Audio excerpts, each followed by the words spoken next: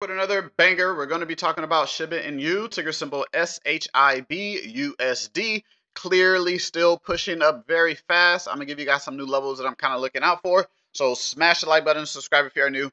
If you want to update on Shiba Inu tomorrow, all you got to do is get the video over 50 likes, and that is it.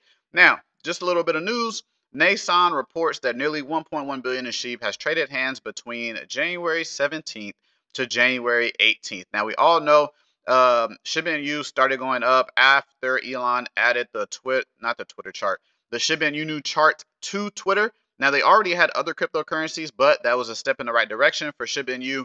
Brings more eyes to it. Maybe people start watching it, start buying it, and etc. Just brings more eyes, right? So that's why they started getting that push. So now let's go ahead and go over the levels. We have a resistance level. We do have a support level, but actually, I'm going to put the support level all the way down here because there's actually a buying level that I like that I'm going to put right here. Okay, so that level is a buying level. So I'll go ahead and uh, let you guys know what levels I'm looking at. New resistance level is about 4 zeros, 1240. 4 zeros, 1240. You can see it right here. Okay, that's that new resistance level. I do feel if we can break out of this resistance level, that's going to bring that next run to higher prices. So make sure you kind of watch out for that. And then we have a buying level down here. Let me actually put the let me put the support level first. It's about four zeros, 10, 20. Four zeros, 10, 20 is the support level for right now.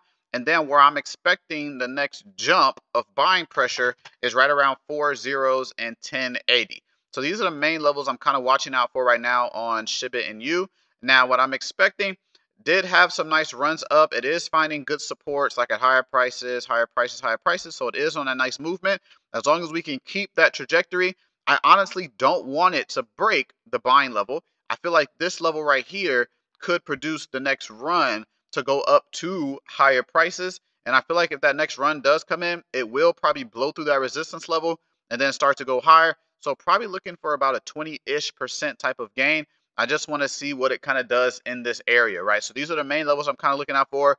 I am looking to buy Shiba Inu to trade it up to higher prices, but I want to see what happens in the area. It could have almost hit that buying level too with this wick down there. You see that? It almost hit that level perfect too. So let's see if that acts. But if anything changes, I'll try to update you guys as fast as possible. Make sure you join the team. First link in the description. Thank you guys for watching the video. And always remember, no recommendation to buy sell anything just for educational purposes only. So do not trade anything you see or hear in the video. Catch you guys in the next one. Bye.